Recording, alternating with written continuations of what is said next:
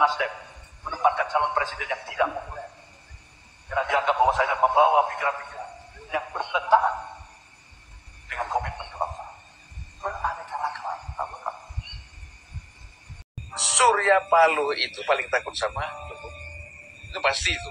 Gak usah dia sembunyi-sembunyi lah.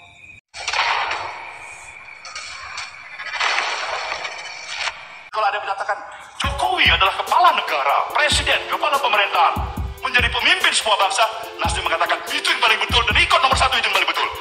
Apa yang kita harapkan dari seorang Jokowi? Yang kita harapkan adalah tetaplah seperti Jokowi yang dikenal oleh Nasdem. Tetaplah seperti Jokowi dengan segala kelebihan dan kekurangan yang ada. Berani mengambil keputusan dan berani untuk tidak populer dan mampu memisahkan siapa kawan maupun lawan. Surya Paloh itu paling takut sama Itu pasti itu. Gak usah dia sembunyi-sembunyi. Dia takut. Dia lagi mencari jalan bagaimana exit. Misalnya meninggalkan Anies. Exitnya itu pertama tidak mau AHY. Itu dipaksa terus bagaimana AHY pokoknya tidak.